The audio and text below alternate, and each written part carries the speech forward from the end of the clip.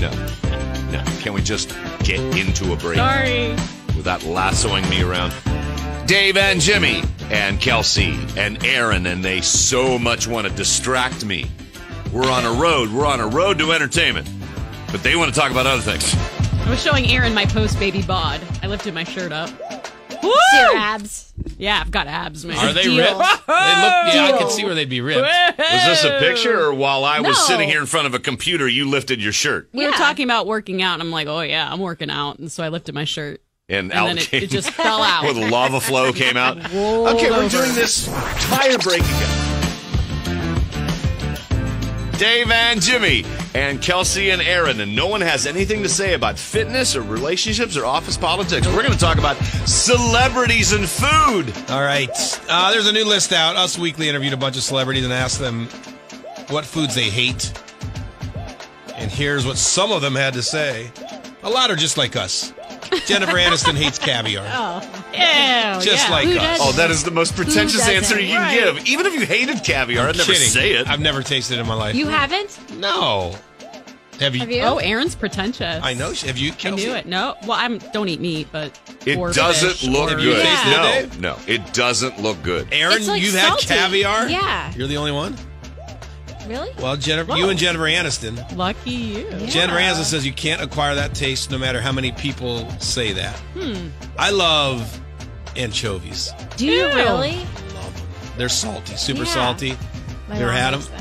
Oh, they're so good. I don't. You know, once uh, for uh, dinner, I had to bust open a can of anchovies to put in the crock pot, and I remember opening it up and went, "Oh my Oh, god, who would look forward to this?" I eat them straight out of the can. What is So an does my anchovy? mom. It's a little An fish. anchovy's a little Okay. fish. Now imagine them drenched in olive oil Yeah. and smelling like an ass on fire. then you open up a top so you get Oh, so it right in the face. Well, when I was little, my grandfather used to eat them, so I'd sit there and eat them with him.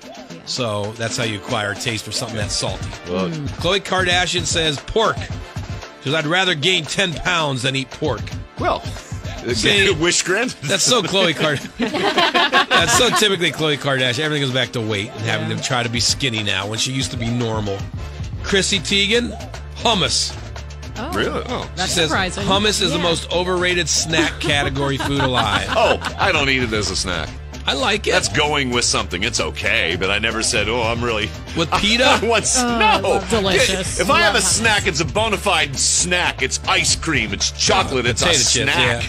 But like warm pita and hummus is pretty good.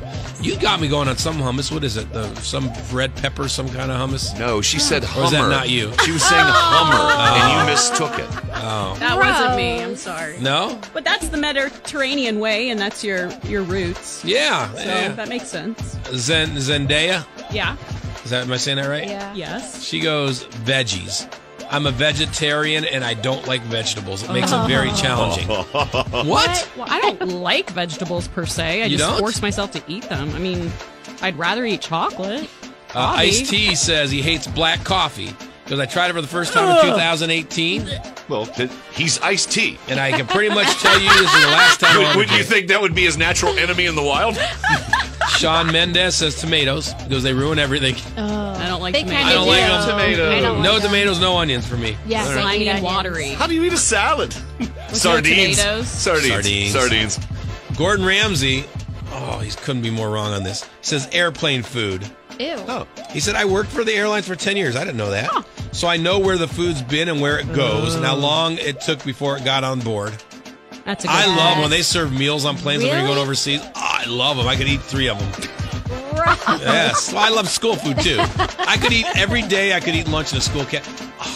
You oh. should. What a great bit. Yes. I should do the Jimmy Jam school tour and every day go to a different school and eat lunch with the Oh, kids. That's wait a a minute. great oh, wait a minute. idea. Only if you get to go Gordon Ramsay on the staff, and if it's Oh. not up to par, you just slice him in two with a bad British accent. I'm not going to make them feel bad. I'm also about not it. going to sit here and watch you go to another school every day and Why? just eat. The kids will be excited. that's- I love here's, to hear it. here's the entertainment. Zero. It's you rubbing your stomach and go, wow, Texas. Interactions with the All lunch right. ladies and the kids. Could be more wrong on this. Yeah, Dave. you're wrong, If I was inviting, You're wrong. if I was inviting restaurants to bring me food every day, that would be me rubbing my tummy. If I go to the kids and interview them and interview the lunch ladies Oh, and yeah.